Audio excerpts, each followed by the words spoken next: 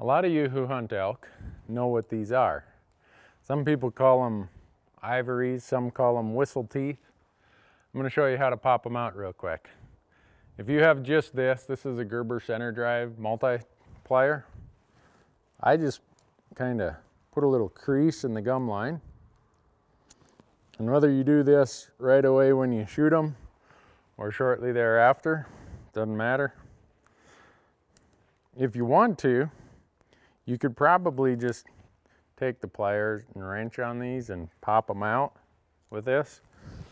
Or if you're out in the woods, even though right here in my yard I just grabbed this old piece of one by two, if you can get a stick that goes kind of down in there, you'll see right now it's been a couple days, these are kind of loose, even with this broken hammer.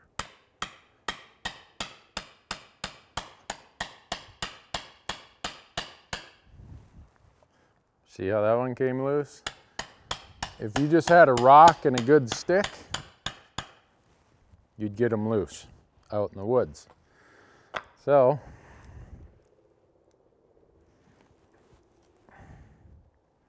there you go.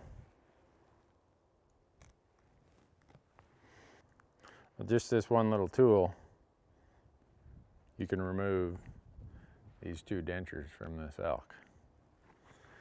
And I don't know what you folks do with yours, but a little while back I started saving mine. I used to just give them to people. I got a couple bags of them here in my shop. They're kind of a little bit of a token, reminds you of the elk. People make jewelry out of them. People do all kinds of things with them.